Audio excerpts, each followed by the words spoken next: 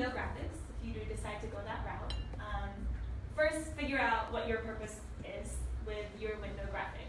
Are you trying to frame it? Are you trying to add dimension? Are you trying to convey a message? So with this one, they're pulling their whole window together. This is Victoria's Secret. Um, and they have a give sexy message. Um, you want to make sure that it's still legible. So I love that they use carrots to write, ho ho ho, it's Christmas. Um, and then think about the font. So this is actually a great message from Kenneth Cole's window. It says, it's not the thought that counts. Um, which is funny, but you can't read it. you have to really strain to read it. And so while it's, it's, it's a great message, it's kind of lost. So it probably would have been more impactful if they had gone with a, um, with a red decal. So even though it matches your theme, you have to think about what stands out to your customer.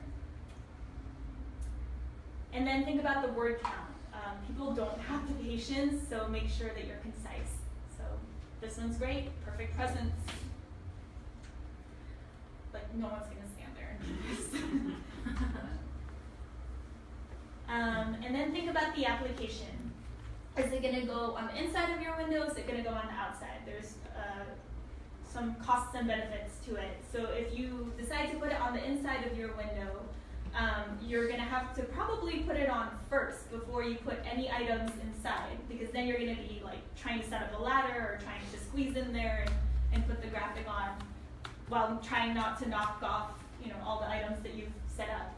Um, so that if you decide to do it on the outside, uh, you have to think about your, your customer traffic. Are they the kind of people who would be tempted to, to peel your little stickers that you paid a lot for? Um, and how often how often are you going to have to replace that?